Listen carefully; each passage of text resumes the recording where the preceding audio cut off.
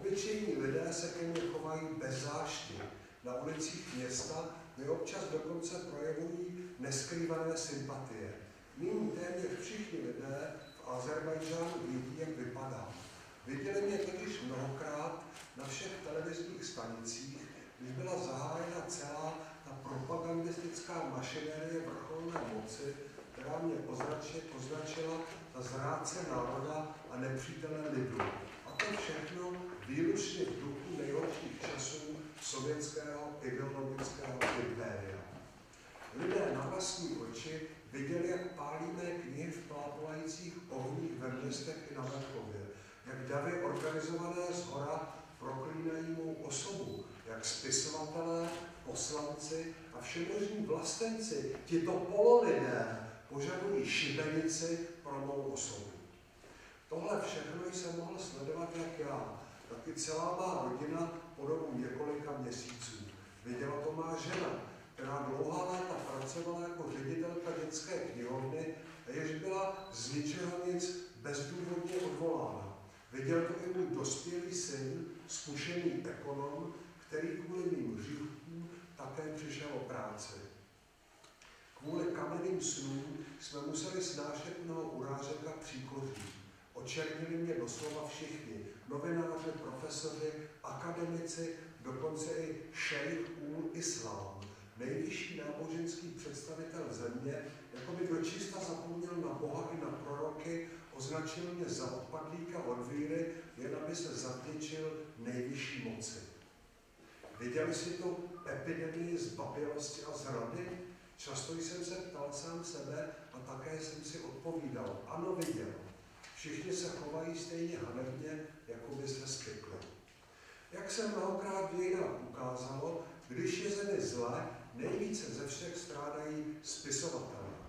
Je tomu tak proto, že moci chtiví pánové, kdo ví, proč nechtějí slyšet pravdu o vlastní zemi.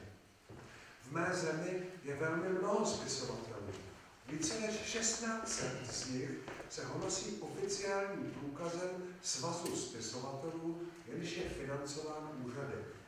A těchto 16 spisovatelů je vždy připraveno podpořit jakoukoliv iniciativu vedenou z hora.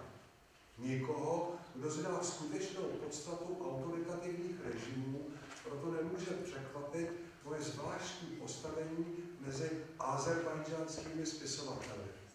V mé zemi je nyní pravda ještě víc nežádoucí než za dob sovětského ideologického revanšismu. Ale jak se říká v Bibli, kdo vytrvá až do konce, bude spasen.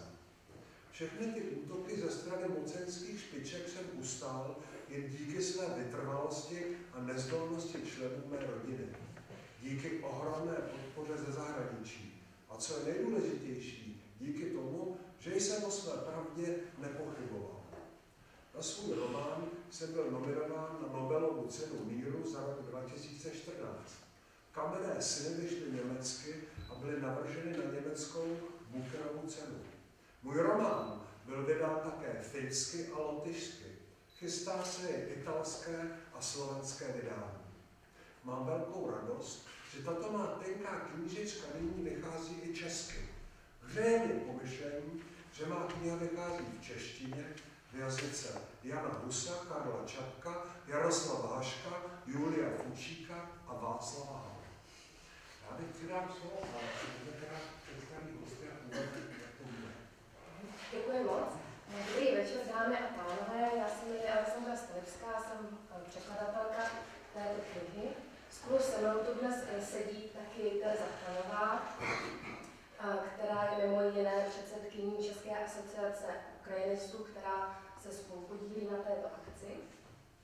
A po mé levici eh, sedí také docent Jan Sulejmanov eh, z katedry ruských a východoevropských studií eh, Mezinárodní, Institutu mezinárodních studií Fakulty sociálních věd Univerzity Karlovy. Já bych začala krátkým slovem o samotném autorovi, o Akramu Aileslimu. A Akram Ailesli vlastním jménem Akram Najav Oblu Naibov se narodil 6. prosince 1937 ve vesnici Ailus, Ailes, pardon, také známý jako Agolis. Odtud pochází i ten jeho pseudonym. Akram Ailesli je azerbajžánský prozaik, básník, dramatik, scénárista a také překladatel. Ve své domovině eh, získal několik státních vyznamenání a také eh, získal titul národního spisovatele. Ovšem eh, všechna tato, všechny tyto tituly mu byly odebrány po právě vydání románu, románu Kamenné sny. Román Kamenné sny reaguje na vyostření konfliktu mezi Azerbajdžánci a Armény na, kon, na konci 80. let 20. století samotném díle eh, eh, se popisují události eh, roku 88, 80, pardon, 89 v Baku. Děj románu začíná v předvečer bakuských pogromů. Také se v tomto svém románu Akram Ehlesli věnuje vyvražování arménského obyvatelstva ve své rodné vesnici Eliske, které došlo v roce 1919 rukou tureckých vojsk. Eh, samotný eh, román eh, začíná tím, že hrad Staré Starigly je brutálně zbyt za bílého dne, když se na ulici zastane nevinného arménského starce. Bezvědomí potom v nemocnici má různé halucinace, přeloudy, zdají se mu jeho kamenné sny. Navíc se autor v díle vrací do uh, hercova dětství, uh, k událostem, uh, co se staly v Ailesu. A než budeme pokračovat, byla bych moc ráda, kdyby nám právě docent Emil Sulejmanov nějak přiblížil eh, to politické pozadí konfliktu v Náhorním Karabachu a právě ten vztah Arménu a. Dobrý, dobrý večer. Já jsem přemýšlel, jestli je vlastně to, co dneska o čem se dneska budu bavit, jestli to pojemo chronologicky nebo historicky, nebo vzít to trochu průřezově, ale řekl jsem si nakonec, pojďme to vzít trošku po pořádku, abychom vlastně viděli ten historický background těch událostí. Ale eh, chtěl bych to trošku podat asi vlastní perspektivy, protože já jsem žil Jerevanu, já jsem ze smíšené arménsko-arménské rodiny. A když vlastně eh, ten konflikt nejdřív to byl spor po území Národní Karabachu začal, tak jsme žili celá normální životy. Bylo v 88. roce, v únoru. A tenkrát nikdo v podstatě neřešil, jaký problém ve vztazích mezi Armény a Azerbajdžanci.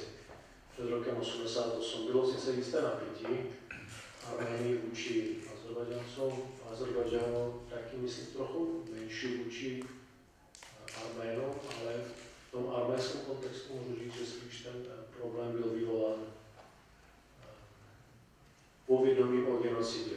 O genocidě v 18. říši v 1915. A tím, že Azerbajdžanci byli v arménské společnosti stotožňování s Turky.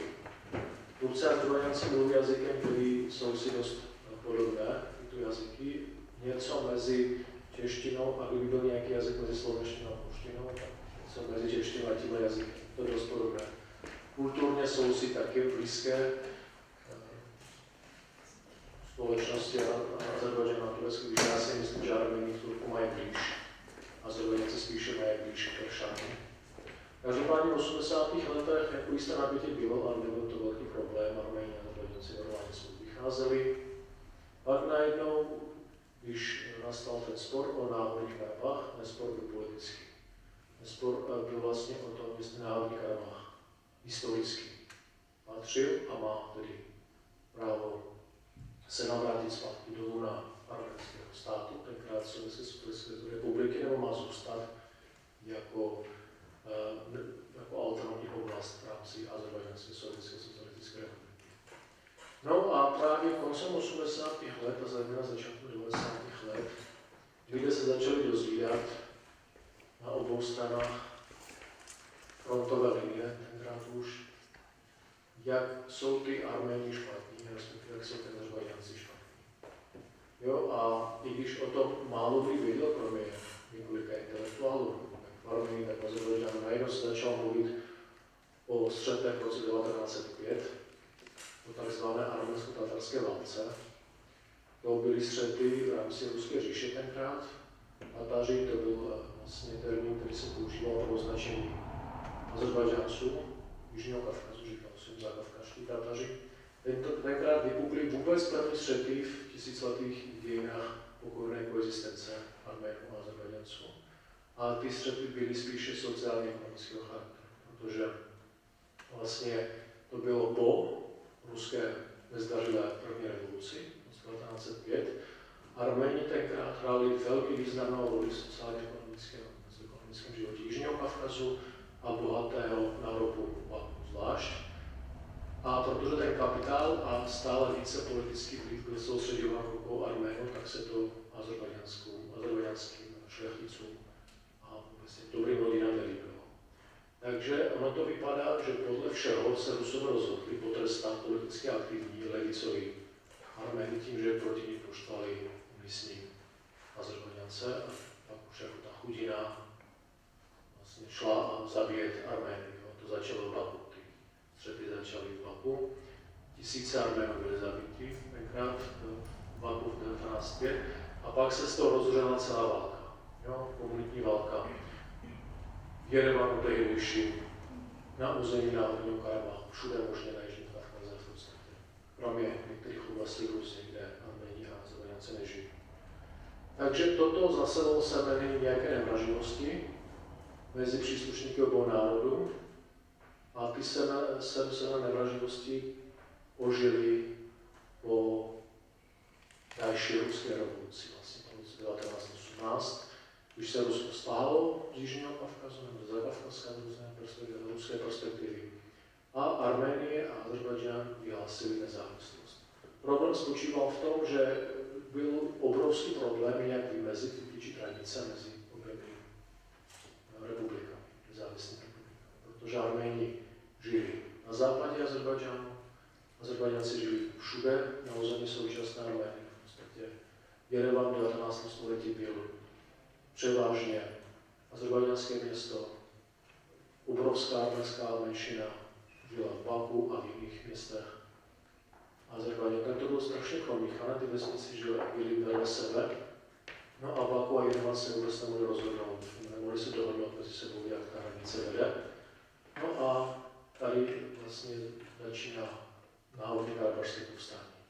V roce 18, 19, Eh, a kromě toho v roce 18, což je takový jako historický eh, detail, ale je dost důležitý z hlediska toho, co říkala kolegyně přede mnou. Březnu 18. roku došlo k tomu, že arménské díly obsadili Baku a došlo tam k řezu. Vlastně azerbajdžanské obyvatelstvo bylo, uh, tisíce lidí byli vyvražděni v samotném Baku ovládali vlastně Rusové a arméští nacionalisti. Zase o tom nikdo neviděl. V 80. 90. letech málo kdo o tom viděl. A tyhle události byly právě vnímány jako odpláta Arménů za ty řeze, které se uskutečnily 13 let předtím, v 1905.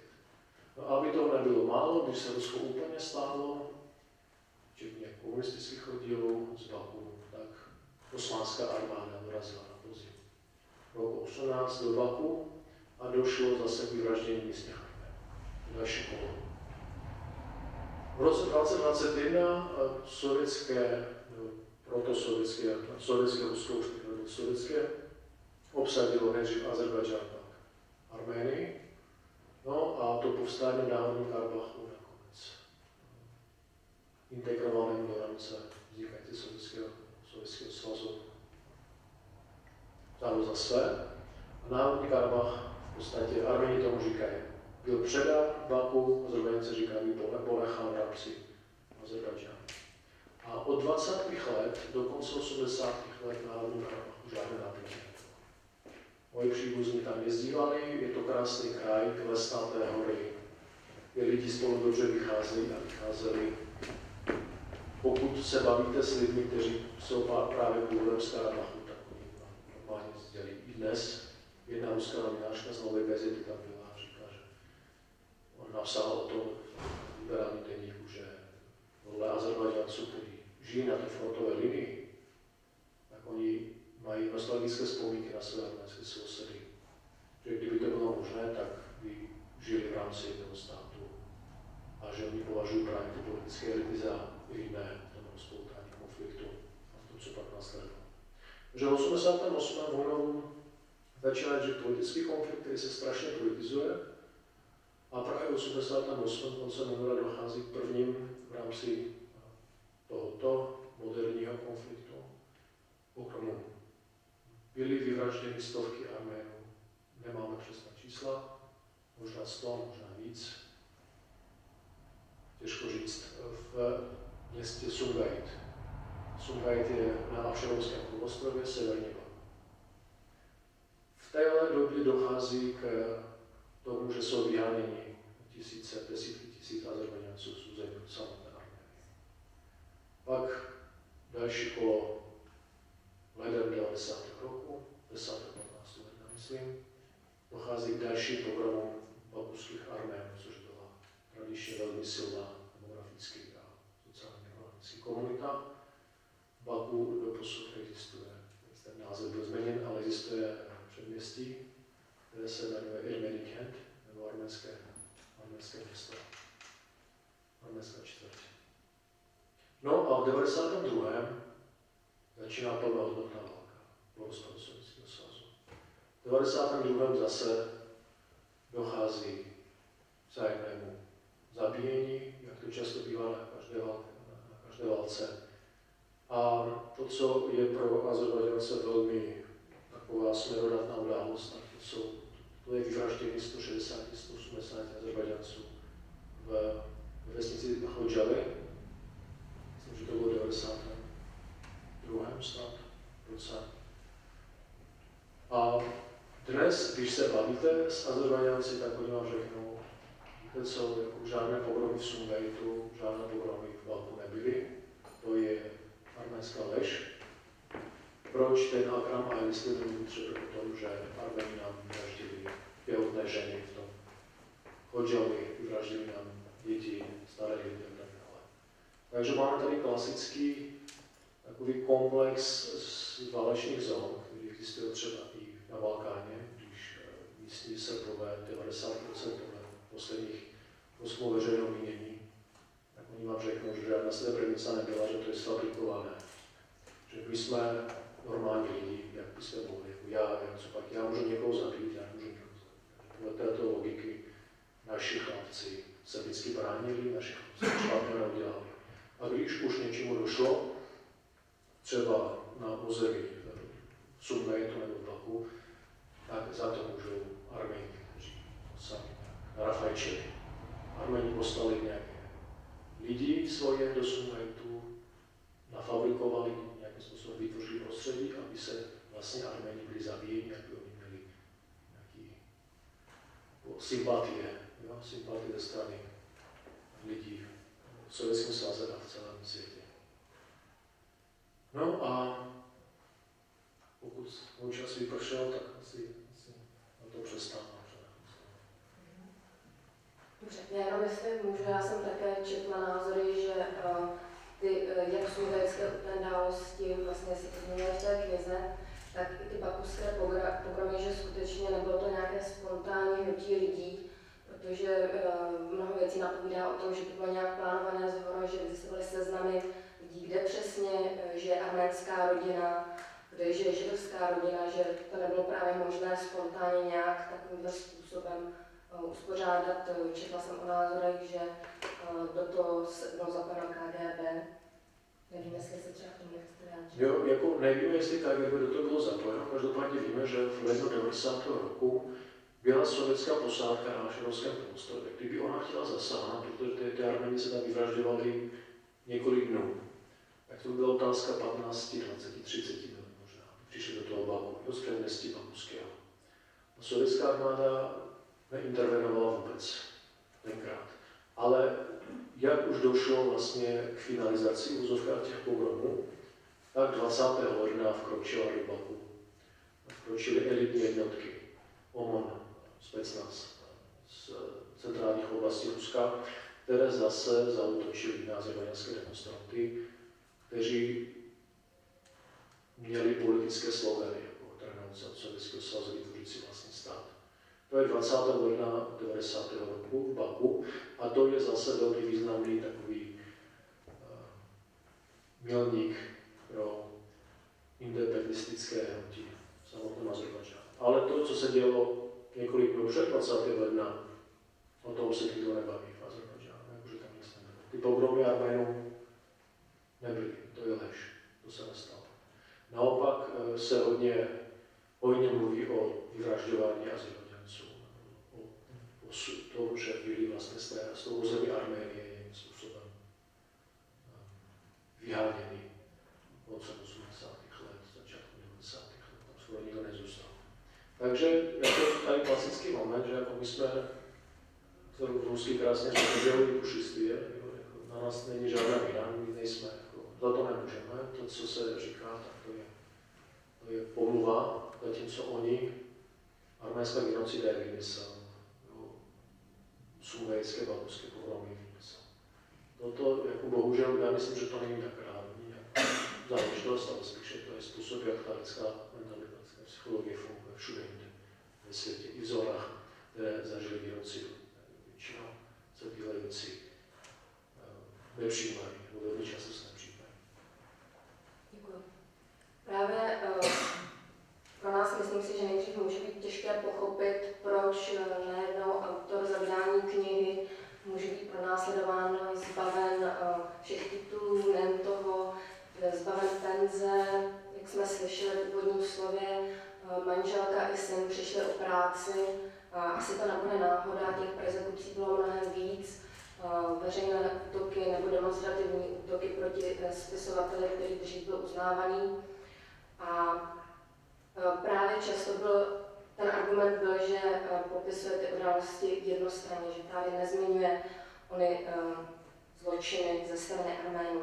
Já bych teď už chtěla přečíst první ukázku Eh, která popisuje eh, právě stav eh, Sarajevo ještě předtím, než ho zbídí.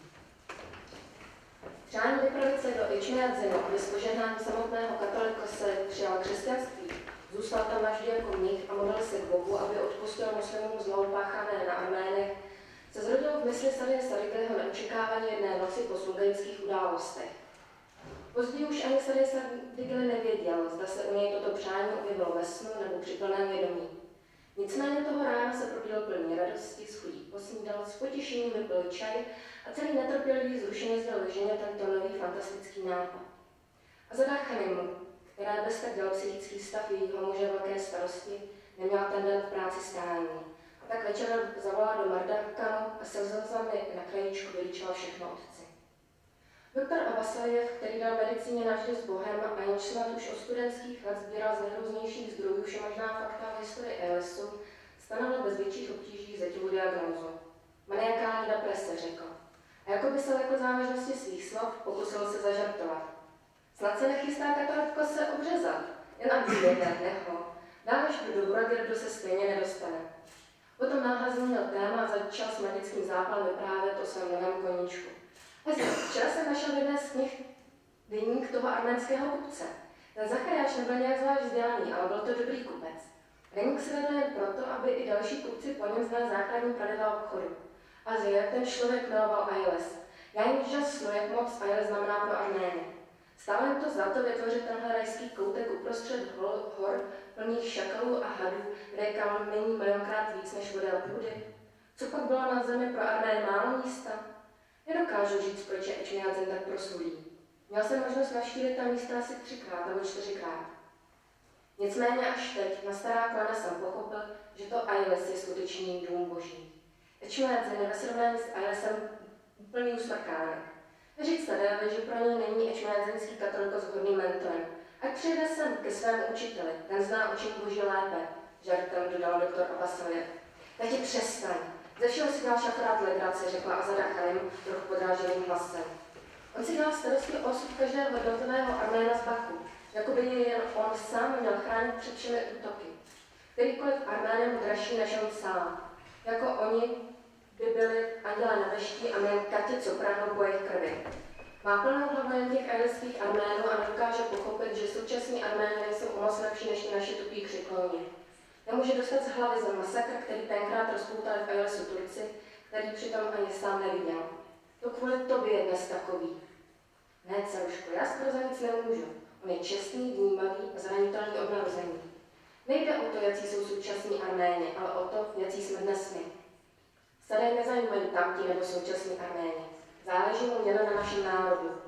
Ty víš, jak opravdově svůj národ miluje, tím se právě liší od té sebraky tupých křiklounů, kterých po celém světě přibývá jako dešti. Doktor udělal dlouhou pauzu. Pak začal mluvit dřevým a laskavým hlasem, který Kocera důvěrně znal. Ty si celšku přece četla Laila a Majnun. Vzpomeň si, co dělal Majnun, když armáda jeho kmene vyrazí do posledního útoku proti armádě kmene od Laily. Válka přece začala proto, aby potrestal jeho krutého otce, který nechtěl prodat svoji dceru za muže z jiného kmene. A Majnun, zaslepený na lásku ke své Laila, v rozhodujícím okamžiku vrhá na pomoc nepřátelské armádě, protože mu jejího otce líto. To je totiž opravdová láska. Opravdová láska nezná hranice. Tak může muž milovat ženu i vlast. Taková láska je čisté zrcadlo celku. V ní se odráží laskavost a milosrdenství. A nepřijde sama od sebe. To je dar od Boha. Našeho Majnuna. Je dobře, holčičko moje, že na tuhle nemoc ještě nenašel lék. Uzavřel doktor a Vasiliev a se slzami v hlase, čímž přiznával svou bezmocnost v nastalé situaci. Já bych chtěla uh, ještě zmínit pozadí vydání samotného románu. Román uh, napsal autor, začal psát už v 90. letech, dokončil ho v roce 2006, uh, 2007 a psán uh, byl ten uh, text azerbajdžánsky. Ovšem azerbajdžánsky nikdy oficiálně nevyšel. Vyšel až v roce 2012, a to v ruštině, v ruském časopise Družba národů. A i to se značnou, řekněme, cenzurou nebo úpravami. Eh, například eh, úvodní textu, který je běžně dostupný na internetu, můžete číst jména tehdejších politických vůdců Azerbajdžánu, když to už v ruském eh, překladu ta jména nenajdete, zna, najdete různé narážky nebo přezdívky jako hospodář, tajemník nebo nejvyšší muž Azerbajdžánu. A proč vlastně čekal s vydáním té knihy a proč vlastně nakonec Akram Leslie vydal? Impulzem pro to byly události z roku 2012 eh, a kauza nadporučíka Safarova. Eh, nadporučík Ramal Safarov, jak jsem říkala, důstojník azerbajdžánské armády, byl v Budapešti odsouzen za vraždu arménského důstojníka. S ním se setkal v Budapešti v roce 2004 na jazykových kurzech pořádaných NATO v rámci projektu Partnerství pro mír. A um, vraždy došlo tak, že uh, několika dnech, nebo já už nevím, kdy to přesně bylo, uh, Ramal uh, Safarov uh, si koupil sekeru, nabrousil ji v klidu ve svém pokoji a potom v noci nad ránem přišel do pokoje, kde spal jeden z arménských důstojníků a právě tou sekerou ho usmrtil. Um, jeho cílem bylo zabít i druhého arménského důstojníka, ale v tomu zabránili. Za tento čin byl v roce 2006 v Budapešti odsouzen do životí. V roce 2012 bylo dosaženo toho, že byl Ramo Safarov eh, předán do Azerbajdžánu tomu, aby se odpykal zbytek trestu. Ovšem okamžitě po přistání byl uh, Ramel Safarov uh, prohlášen za hrdinu, zahrnut květinami, byl omilostněn, dostal byt, byl povýšen na majora. A jak vidíte, Akram Elsley napsal knihu a za tu on i jeho rodina jsou nyní persekuováni. Ehm, podle samotného autora, proč se rozhodl eh, vydat tuto knihu, jeho cílem eh, je především, jak několikrát zdůrazňoval, eh, najít smíření mezi oběma národy, které do 80. let byly schopny přátelsky v míru žít. A jediná cesta podle Akrema a Leslieho je pravda. A to znamená přiznání vlastní viny, že i my jsme páchali zločiny. Tak, e, nyní e, bych e, ráda přečetla ještě jednu ukázku z druhé kapitoly. Právě ta, tato ukázka je z té části, kdy se dozvídáme něco o dětství hlavního hrdiny Sadeje Sadigliho, které strávil Ailisu. Všichni tři patřili k předválečné generaci, narodil se pár let před začátkem války, která jim vzala otce. Ale tři nebo čtyři roky po jejím skončení náhle přišla zpráva, že Jamalův otec vyžle Safie na živu. Jeho žena Delruba od něj dostala dopis, ve kterém mi oznamoval, že nepadl ve válce, je živ a zdrav a že nyní v kraji zvaném Kazachstánu, ve městě Džambu. Psal, že se znovu oženil a že nová žena porodila syna. Dával na vědomí, že se do Jelci už nikdy nevrátí a pokud že jeho syn Jamal bude chtít, může se přestěhovat za ním do města Džambu. Jedné hluboké noci po tom nešťastném dopisu zvedl celou vesnici na nohy nářek Jamalové babičky Azery. Její dcera Doruba si byla na hlavu plechovku petrole a chtěla se upálit. Jamalová matka se po té příhodě už nespamatovala. Nejedla, nepila, v noci nespala, přestala cokoliv dělat, vůbec napečevala odmu. Když přišla o poslední zbytky rozumu, bloudila celé noci po horách jako divoké zvíře. Hledala muže, aby ho potrestal, cestu do džunglu však neznala. Její tělo našlo na kraji silnice asi 30 nebo 40 km od Ailisu. Tak Jamal přišel ke své hloupé přezdívce Jambu. Když už starý byl v Baku, vzpomínal na Jamal skoro každý den. Pokaždé se mu ve vzpomínkách vybavil rangský kostel, jeho návoří, vysoká štíhlá třešeň a stará hajka muž s typickým šátkem v pase, jak se vyhrnula rukávy nad lokty a pečlivě měla zavšívanou Jamalovou hlavu, že přitom neplakal zjištění. Toho rána vylezli všichni tři na vysokou třešeň na nádvoří kostela. Dlouho už panovala vedra, ale Jamal stejně nesundal z hlavy špinavou čapku, kvůli které musel sedět celou zimu ve třídě v poslední lavici. Až do letních prázdnin věnovala třídní učitelka Milene Malema většinu vyučování posuzování té jeho čapky. Jako by nevěděla, že po té, co země oslepla babička a zra nenašel se nikdo, by alespoň jedinkrát umyl Jamalovi hlavu a samotný Jamal, otřesený tragickou smrtí matky, v sobě nenašel dost sil, aby si ji umyl sám. Jak se ukázalo, nejlépe ze všech to viděla stará Hajkanuš. Nejvíce ke staré Hajkanušné doneslo, že toho rána bude Jambu Jamal na kostelním nádvoří. Zatímco chlapci seděli na straně, rozdala přímo pod třešní oheň, ohřála vodu ve velkém měděném kotli, přinesla z mídlo, ručníky, čbán a půlitrovou sklenici s jakousi vlátivou hmotou černou jako smůla, kterou se chystala namazat Jamalovu hlavu. Sotva stará léka než sundala čelku z Jamalové hlavy, Babašovi se zvedl žadlůdek plný třešní, kterými se naprali břicha. Sadej se jednoduše zakryl oči a otočil se. Hajkonoš jako uštvaná vykřikla aj a oběma rukama se chytla za hlavu. Jamalova hlava připomínala mraveniště, tolik vší se na něj hemžilo. Stará Hajka už posadila Jamala k ohni na plochý říční kámen. Sadej plnil žbán topou vodu a na Jamalovu hlavu a Hajka už třela tu všivou hlavu mídlem, ji nechty až do krve a znovu je třela mídlem a znovu oplachovala, k tomu promlouvala tichým, žalostným hlasem. Můj milý, ubohý chlapče, sirotečku. I teď, když ležel v bezvědomí na nemocničním lůžku paku, Starý Sarigoj slyšel ten hlas tak zřetelně a tak blízko, že ani kdyby se stará Hajka už ocitla v pokoji přímo u něj, nezněl by ten žalostný hlas jasný. Stejně jasně slyšel Sarigoj i křik žen, které přiběhly ze svých domů na kostelní nádvoří, když už stará Hajka už přelazovala gázou Džemalku hlavu, mytou a namazatelnou mastí. Říkáme se muslimky, ale umít chulkově hlavu to nás nenapadlo. Tak mu je omylem ona. Co na tom, že není muslimka? A jako už přece nespadla z nebe, tak je z naší vesnice. A tě Bůh provází v těžkých chvílích, hajka Badži. Vždycky se nám muslimům projevovala laskavost. Kdo by se Radko odmítl odmít hlavu? Odkud jsme měli vědět, že chudák kluk zavšivený? Pak si nevšimla, že nikdy nesundává čapku z hlavy. Kdyby neměl všit, co pak by v takovém horku chodil v čepici? Hajkaroš, ať Allah ochrání tvého jediného syna Věrevan, si nejmilosrdnější z ezelských žen. Ty Hajkaroš jste Allahova služebnice, co na tom, že jsi Arménka? Poté, co si Hajka už pečlivě umila ruce mídlem a promnala se bedra obmotaná šálkem, jakž tak se jí podařilo narovnat záda. Ženy se postupně rozešly.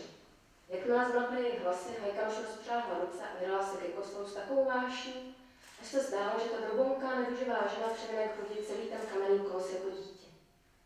Když se stará Hajka už křižovala před ženou v turbanu, že má s bílou gázou na hlavě mlčky styděl u zdi vedle chodu do kostela. A Jusik, která do té doby schovaná v koutě brány se strachem a zděšením pozorovala, jak její babička mají Jamal ve hlavu, v ní stála opřená oknem třešně a tiše plakala. V Jamalových očích se zaleskly slzy. S údivem hledal na svět, jako by ho viděl poprvé. Babaš stál hratadla s nízko skloněnou hlavou, styděl se, že se předtím tak ostudně pozvracel. A Hajkaruš, jako obvykle, stál u dveří kostela a zaníceně se modlil. Um, chtěla bych říct uh, uh, ještě, když mluvíme o různých persekucích vůči autorovi, tak uh, bohužel stále trvají. Akram Leslie měl teď na přelomu března a dubna jet na Benátský literární festival Křižovatky civilizací, ale bohužel nemohlo. Na letišti během pasové kontroly byl zadržen a vycestovat se mu tak nepodařilo. A nyní eh, bych poslala Terezu Chlaňovou. My tady neustále mluvíme o nějakém politickém, možná morálním apelu, ale ráda bych, aby zazněly i nějaká slova v literární stránce toho díla, protože ten text nejen politický apel, ale i krásná lirická proza a o tom myslím, že nám víc řekne právě Tereza. Mhm. Přesně tak. Myslím si, že o tom, že Kamenné sny je knižka, která má eh, výrazný etický rozměr,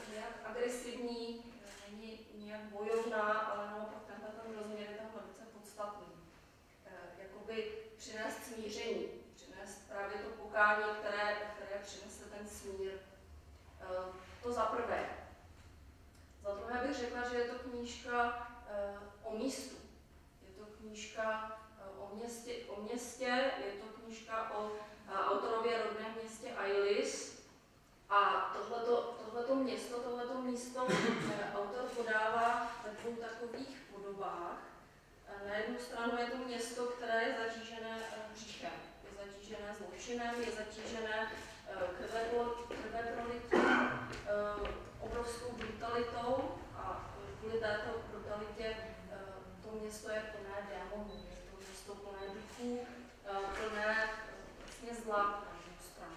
Je vlastně do značné míry prokleté.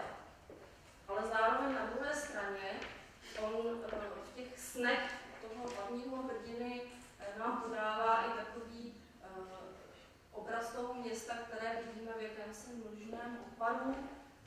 Je to město prosvícené, je to město, to město chvějící se, vybující, velice barevné a uh, vlastně v tomto chvění a v těch vibracích eh, v podstatě k nám eh, probleskuje boží úsměv.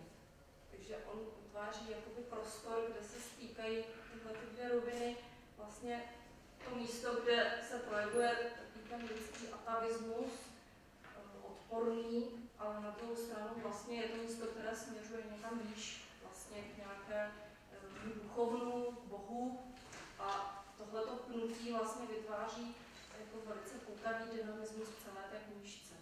Takže určitě místo. No, charaktery vyřezané velice jemně, místo, které tam působí velice silně.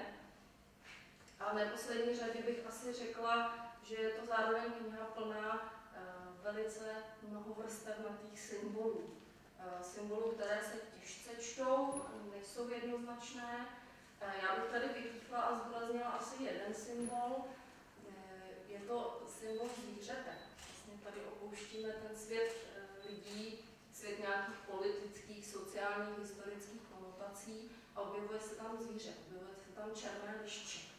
Vlastně liště, které je jakýmsi krystalickým spodobněním nějaké čistoty, vlastně neposkvrněnosti, nezatíženosti a tenhle ten symbol uh, prostupuje celou knížku. Vlastně od začátku a uh, ten obraz lištěte tu knížku zavírá. Je vlastně velice silný. Já nebudu nějak interpretovat, co to liště má znamenat, nebo co má symbolizovat, to bych nechala na čtenáři, ale možná na závěr bych eh, tuhle tu pasáž, eh, pokud můžu říct, tak mojí nejoblíbenější z té knížky eh, bych přečetla.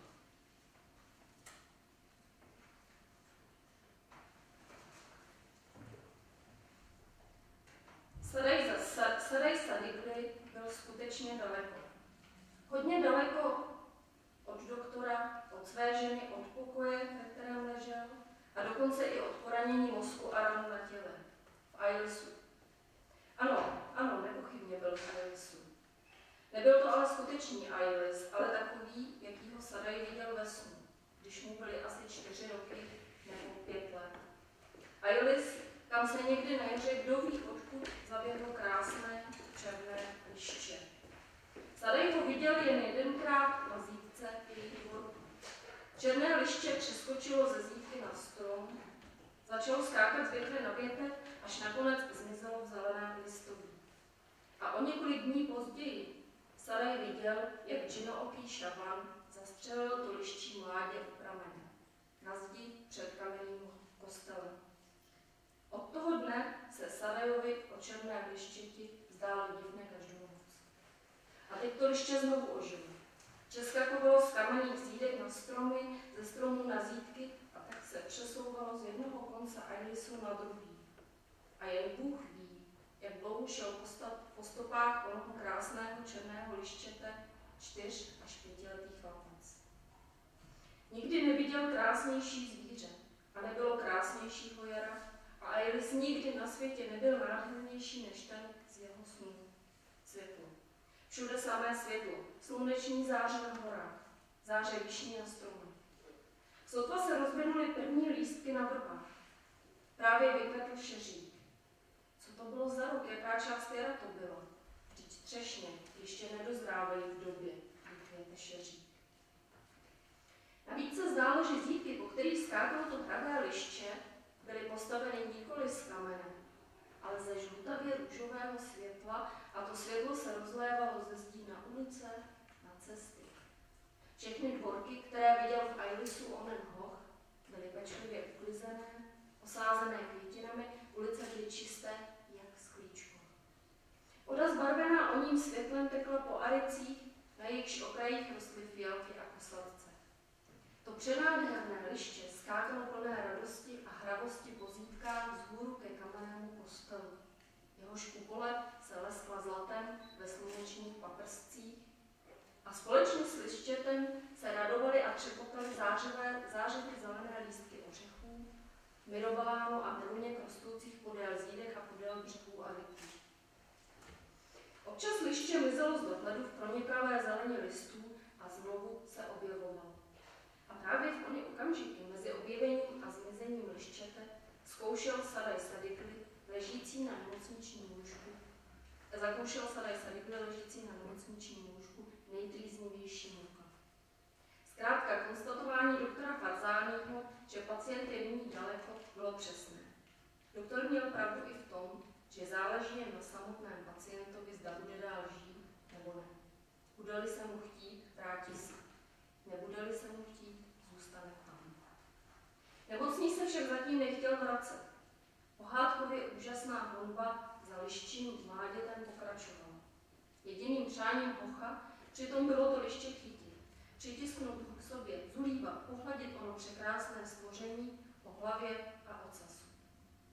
Dokud to liště, živé a zdravé, skákalo po zítkách zalitých světlem a mohlo se ukrývat mezi zeleným listovým, i náš herec Sadaj Sadikli byl živ. Sadaj nadále přebýval ve svém vzdáleném světě. Nyní se malý hoch pro následující černé liště ocitl na vrcholku kopce, oddělujícího horní a dolní části vesnice. Kousek od kamenného kostela, jim se tiskl ke svahu hory, která se lehce růžověla ve slunečních pablscích. Vzduch byl protchnutý hustou, nahořklou vůní ořechového listí, mísící se s chladem vody, protože odevšat se vrcholku, na něm šlapec stál, skláněly zelené větve vlašských ořechů. Kde si v dálce se rozléhal šum vody, klokotající v kamenné nádrži pod kamenným mostem. Mezitím si ten krasavec černý lišák stále poskakoval mezi zelenými větvemi a chlapec se bál, že ho ztratí z očí. Zároveň se však chtěl napít. Jeho mozek spalovala žízeň a chladivá voda, zvonivě se valící strouhou vyloženou kamení, stékající do malé kamenné nádrže, ho v sobě přitahovala jako magnet. Jenže strach z toho, že liště ztratí, mu nedovoloval k ní sejít. Pak zahlédl, jak liště přeskočilo ze stromu na kamennou zítku a pokračovalo dál v cestě. Chlapec se zaradoval, nyní mohl sejít z vonivé vody. Strčil dlaň do jejího silného proudu. Avšak ani jedna kapka do chlapcovi nastavené dlaně nespadla. Necítil vůbec žádný chlap. Naopak. Ovanul ho horký vánek, z kterého se mu udělalo špatně. Chlapec strčil hlavu do aby schladil svůj sálející mozek. Ale ani tomu nepomohlo, dokonce ani tato divoká voda mozek stravovaný žárem neschladil. Právě v tu chvíli se chlapce zmocnila hrůza, že liště už navždy ztratí z dohledu. A v tom, kde si zazněl výstřel.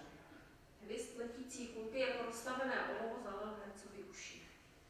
Aby zjistil, odkud výstřel zazněl, napěl všechny svoje síly, zvedl hlavu a na místě kamenných zídek utkaných ze světla uviděl obyčejnou, hlíny uplácenou šedivou zeď nynějšího Ailisu, jak po ní stéká rudá krev černočerného, překrásného, kundelatého liščete z jeho dětských vzpomínek. Ta krev stále ještě stékala po zítce a o ručení, které od pradána těkalo jako včelí roj v prasklinách zdí anglických kostelů, se smísilo se zvukem výstřelu a jako černý obláček se vzneslo Předtím, než upadl do věčného spánku, převysoko pod samotnými nebesy, nejvyšší hory v Ailisu, najednou zřetelně uviděl buragirický kostel Hlubý bazar. A konečně pochopil, že už není kam jít dál.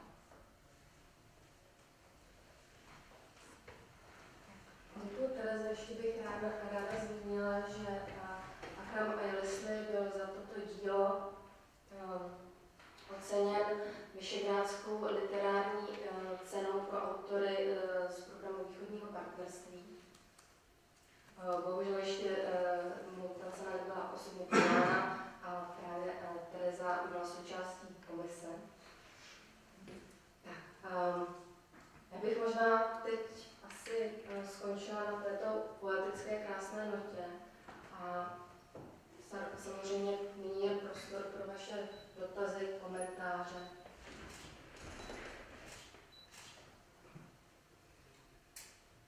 Pokud jsou. Mě by zajímalo, jak je vlastně role autora jenom pro tu komunitu těch autorů azerbajdžánských, ale i třeba arménských. Nakolik jenom známe to dílo Franz Werfel 40 dnů. Jestli to třeba ten pan Akram Leslie zná, jestli byl přeložení. Tak to bude, bohužel by byla asi spíš otázka na autora, to na to nedokážu odpovědět. No, já bych odhadla, že, že určitě, protože každopádně, každopádně on že je vybaven i ruštinou, takže eh, jako myslím si, že, to bylo natočeno nějaký dokument o, o tom. já bych jak, řekla bych, že skoro určitě, skoro určitě si a není to mají, ve filmu mají jako jeden ze základních. No, Já bych řekla, že určitě ano. Že určitě ano. Že to možná není, ne, ne, nevím, nemám vědomosti o tom, jestli je to přeloženo přímo do azerbajdžánštiny, ale tam, že ta ruština hraje roli jako klíčovou, takže řekla bych skoro 100% že ano. Tak snad budeme mít někdy příležitost. To, Bertolt byl přeložen do arménštiny a, a bylo více vydání. Dělal a do azerbajdžanštiny předpokládám, že nebyl přeložen. To by mohl říct pan docent, jestli bylo to přeloženo dílo do azerbajdžanštiny. Ale myslím, že já bych řekla, že tady ta jazyková bar, jako bariéra a přímo do toho jazyka, že to, že to opravdu jako nehraje roli. Jo, a ještě navíc bych chtěl dodat, že, že eh, to, co napsal Bertolt, tak Turecko to vehementně popírá a říká, že je to vymýšlený příběh a tak dále. To je, myslím, že dobře zapadá do toho, co tady na začátku říkal pan Sulejman. To popírání vlastně těch, těch jakoby vzájemných křivd. Poprosím vás.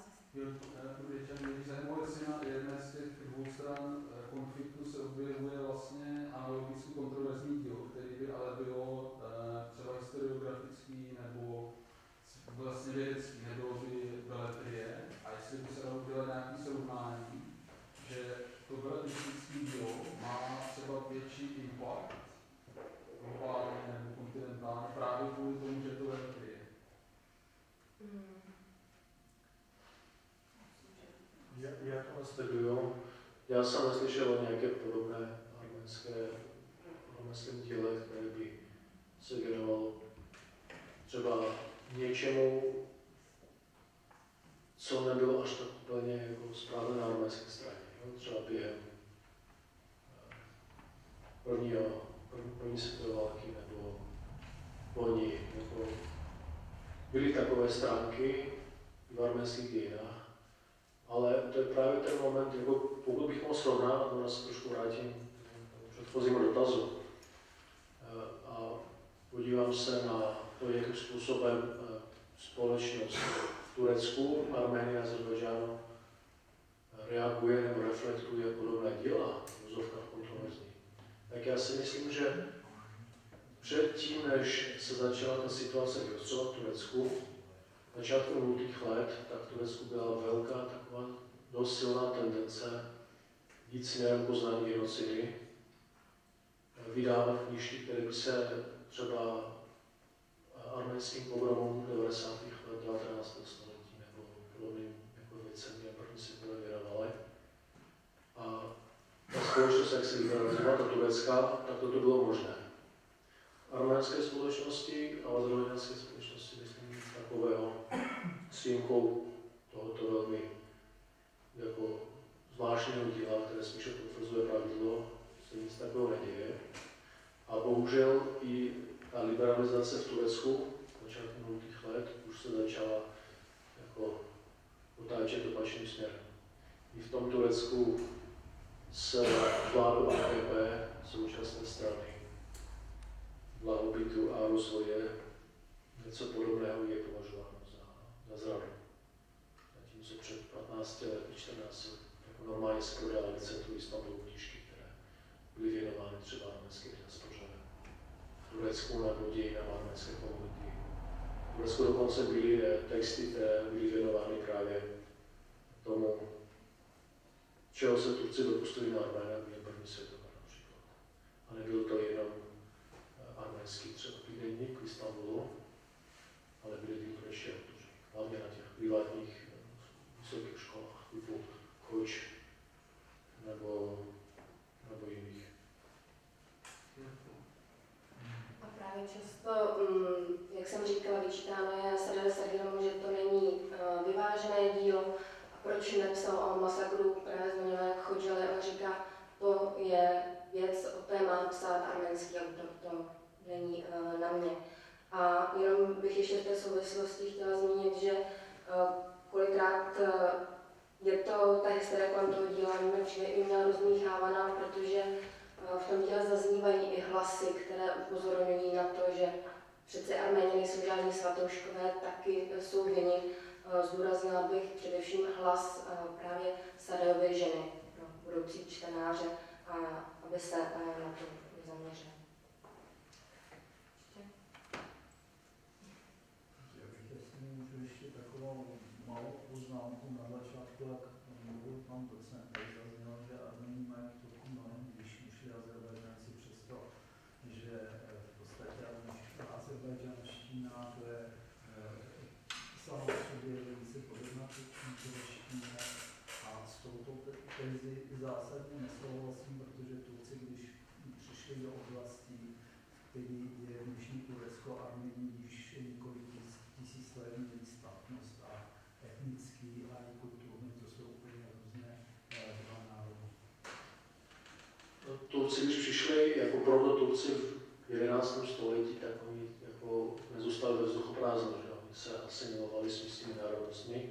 Když se teďka dělají analýzy DNA Turků, tak jenom, myslím, 7% DNA eh, má středoazijské, středoazijský původ. Takže jako, ale já jsem nemyslel, jako kdo je starodávnější, kdo je vyspělejší, kdo je jako moudřejší. Já mám na ty rozhovory primordiální takové, jako, kdo jako, to vůbec není pravda. Jako ten, ten přístup samotný je vadný podle mě. Já jsem spíše myslel ty mentality. Jako ta anatomská mentalita, která je společná Turkům, Kurdům, Arménům. Já si myslím, že to je jedna věc, jako, můžeme se bavit o té mentalitě. Jo? A druhá věc, jako druhý, druhý, jako druhá mentalita je třeba ta iránsko-azerbajdžanská, která je odlišná. Jako z tohoto hlediska jsem to myslel. Nemyslel jsem doma starší státnost a doma odvážnější muže a doma počestnější ženy. A doma abecedu a tak dále. To je to úplně příběh, který podle mě s tím vůbec nesouvisí. No, ono to zaznělo trošku jinak, jak jste říkal na začátku a, a jestli jste chtěl mluvit o DNA, tak byste to měl upřesnit na začátku a mentalita není, není podobná. To, to vám můžu No, mentalita podle mě je podobná. Podle mě je podobná. Tak to je otázka názoru.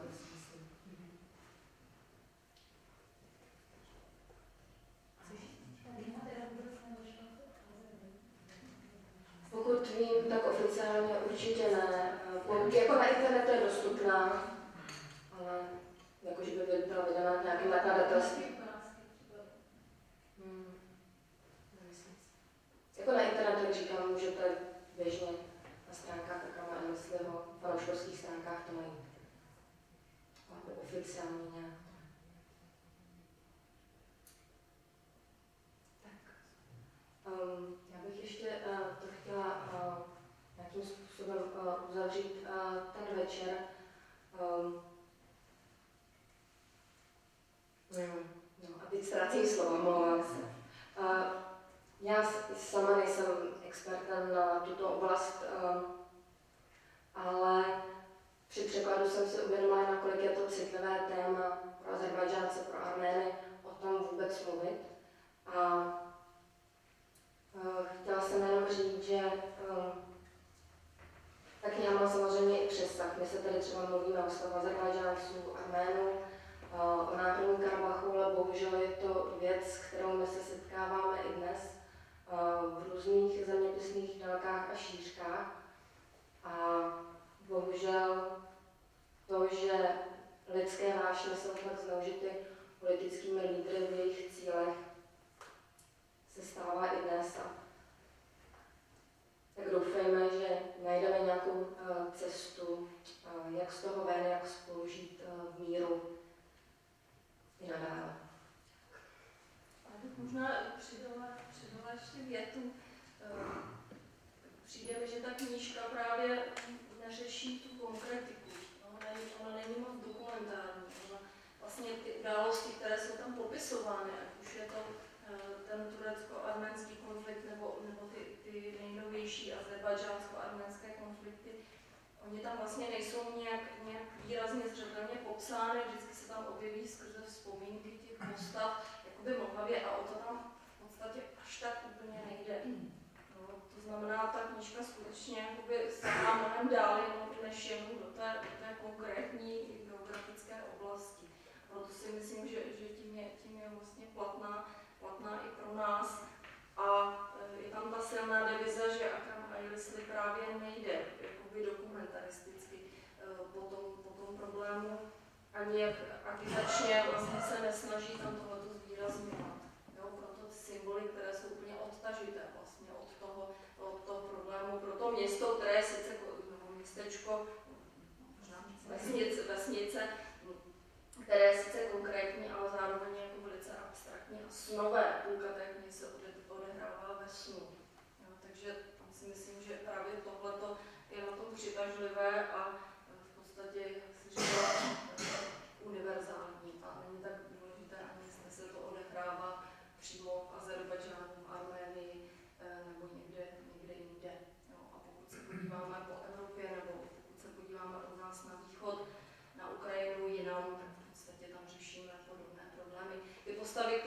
modelů jsou lidské, jsou někdy až vlastně krystalicky jdou po tom lidství, vlastně nezajímají kategorie nějakých národů, eh, stran, ideologií, náboženství.